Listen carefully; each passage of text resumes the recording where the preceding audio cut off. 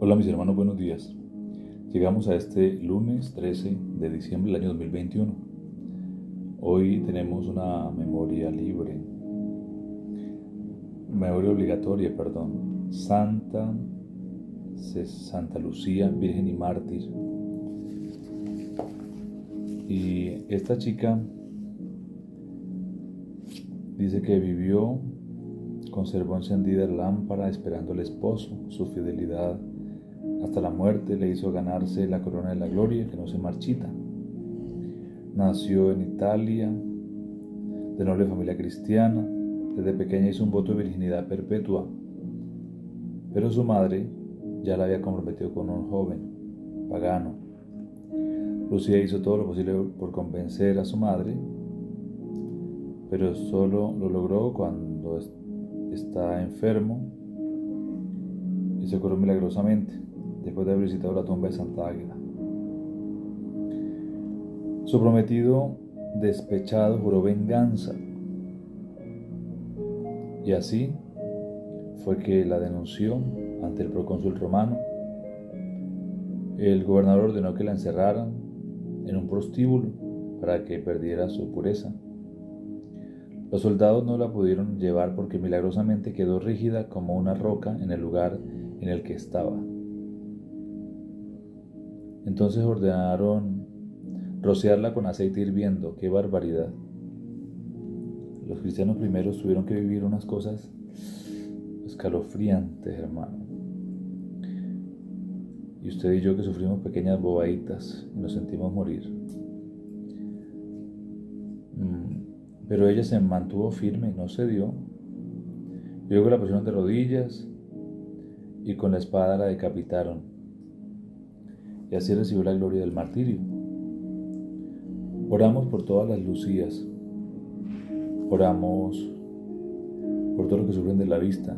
Ella, la patrona, se le invoca para el auxilio de los que están sufriendo de la vista. Le pedimos a Dios el don de la misericordia.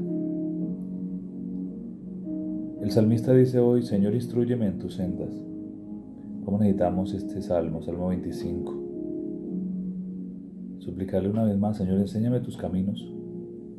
Haz que yo no me pierda en ese camino, en ese tiempo y, y olvide el sentido de mi vida como cristiano. El Evangelio nos cuenta de San Mateo que el Señor estaba predicando y muchos le cuestionan la autoridad y usted con qué, por qué, con qué lo hace. Y él dice que les hace una pregunta. Juan el Bautista con qué autoridad lo hacía. Y ellos prefieren no contestar. Porque dice, si decimos que viene de Dios, porque no le creyeron. Si decimos que no es de Dios, la gente nos viene encima. Así que hicieron cálculos. Y entonces se quedaron con los cálculos. El Señor dice, bueno, pues ustedes tampoco son sinceros. Yo no les digo, porque en el fondo a ustedes no les interesa solo es para conocimiento, porque conozco sus corazones y, no están dóciles a la fe, no quieren convertirse. Preguntémonos si el Señor también no nos revelará muchas cosas a nosotros. ¿Por qué? Porque solo queremos ser eruditos para poder, como decimos nosotros, fantochar o fantochear o fantosear. Ah, mira, a mí se me manifestó tal cosa. No, yo vi, yo vi tal cosa. O para ganar la curiosidad y el aplauso de la gente. Y con los curiosos, Dios no le va bien, por eso no se le revela. Se revela a los humildes y sencillos, que se sorprenden de la misericordia de Dios y ponen en Él su apoyo. Bueno, este nuevo día Dios nos dé la gracia de poder seguir creciendo.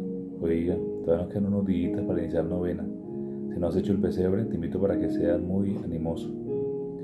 No te olvides compartir este video en tus redes sociales Dale me gusta al video, espero sus comentarios para que otros se suscriban a este canal. Y si usted lo está viendo por primera vez, suscríbase para que te lleguen las notificaciones cada vez que se sube un nuevo video. Que el Señor te bendiga, te llene de su gracia, te proteja con su amor y te conceda un día de bendición. En nombre del Padre, del Hijo, del Espíritu Santo. Amén. Virgen de Valmanera, ruega por nosotros. Feliz lunes, mis hermanos, me encomiendo sus oraciones. Dios les bendiga. Chao, chao.